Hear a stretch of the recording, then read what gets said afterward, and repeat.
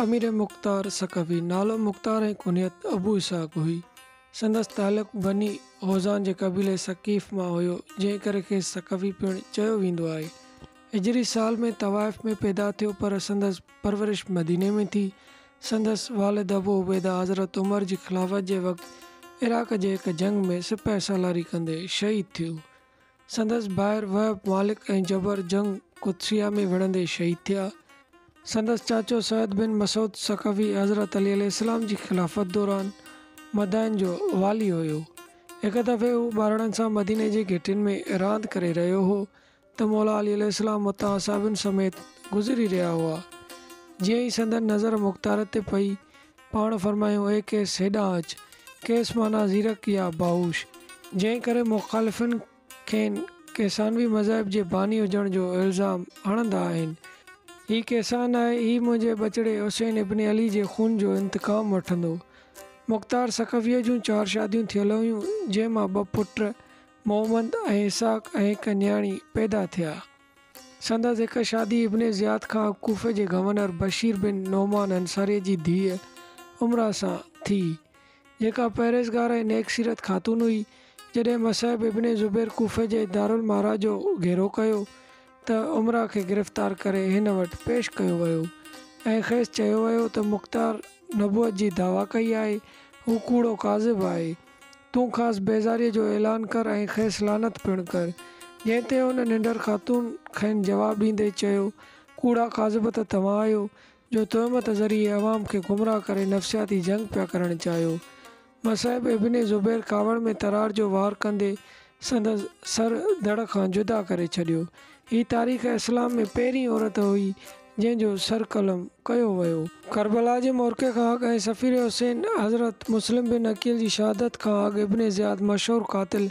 Ziyad इब्न अबी के कूफ़े के शियान अली के क़तल ए क़ैद करण जो हुक्म दिनों जै मुताबिक़ मुख़्तार ए तवाबीन के अॻुवाण सुलेमान बिन सरद ख़ज़ाई समेत पंतालीह सौ शियान अली क़ैद ए शहीद कया विया बैद कोफे जहा खारजी मुनाफ़ कारबन जा ग़ुलाम ईरानी ऐं कोफे सरदार इब्न ज़िया जहा हामी थी वह कोफे के क़ैदखाने में मुख़्तार के संदस भेणी में अब्दुल्ला बिन उमर के यज़ीद के ख़त लिखण कर खैस आज़ादी मिली जैसे सब क़ैदी आज़ाद थियण लगा तो टियानवे साल के सलेमान बिन सर्द ख़ज़ाई हुसैन के खून के इंतक़ाम वन की तहरीक हलई जैसे नतीजे में इब्न ज़ियाद मौसिल भजी वो तवाबीन इंतकाम वठण लाइ अमियुनि सां जंग करण लाइ पंज टिजड़ी मौसल जंग लाइ रवाना थिया त मुख़्तार मुखालफ़त कंदे चयो दुश्मन सां विण बदिरां इराक जी हुकूमत हथ करे लश्कर तयारु करे विढ़िजे पर शौक शहादत करे संदसि राय खे रद्द कयो वियो ऐं एन अल विरधा जे मैदान में जंग में शहादतूं माणियऊं ऐं जेकी भॼी वियासीं मुख़्तार सां अची मिलिया इब्राहिम बिन मालिक अश्तर ऐं मुख़्तार क़याम लाइ गॾिजी जंग करे कूफे या इराक़ के फतेह कयो इराक़ की हुकूमत हथु करण बैदि मुख़्तार करबला की जंग के शकी किरदार उमर बिन सैद बिन अबी वकास संदस पुट जो संदसि सॻो भाणेजो हुयो हुरमल शिमिर